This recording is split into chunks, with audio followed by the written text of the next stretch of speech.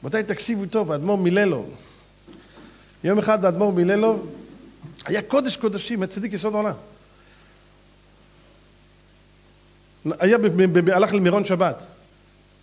המשמש של הבבא סאלי אומר לו, רבה, הרב, האדמו"ר מיללוב יש שבת במירון, הרב רוצה לבוא למירון? הוא אומר לו, בטח, הוא יהיה שם, אני רוצה להיות איתו.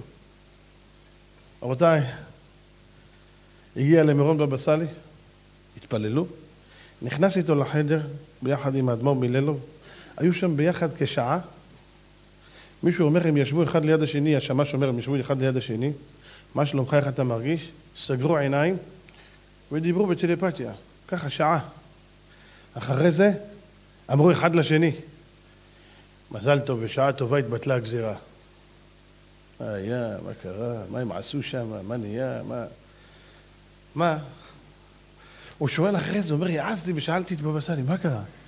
אומר לו, תדע לך, שהיה גזירה, שרצו לעשות פה צרות, הפרסים, העיראקים, לא זוכר מה זה היה, ואנחנו ביחד שנינו עשינו ששתיהם יריבו ביניהם.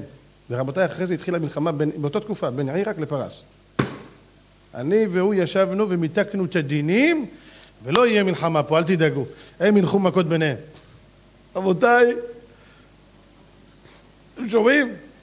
אבי, אבי, רכב ישראל ופרשיו. אומרים חז"ל, מה זה אלישע הנביא אומר על אליהו הנביא, אבי, אבי, רכב ישראל ופרשיו?